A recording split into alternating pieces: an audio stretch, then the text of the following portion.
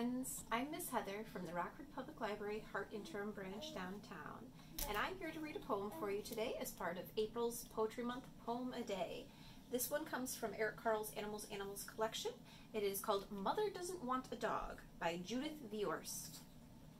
Mother doesn't want a dog. Mother says they smell. And never sit when you say sit, or even when you yell.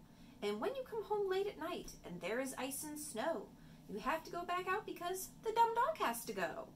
Mother doesn't want a dog. Mother says they shed and always let the strangers in and bark at friends instead and do disgraceful things on rugs and track mud on the floor and flop upon your bed at night and snore their doggy snore.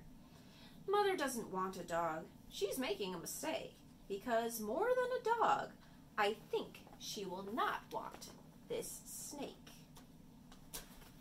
That is the poem Mother Doesn't Want a Dog by Judith Viorst, part of Eric Carle's Animals Animals collection. Thank you for listening.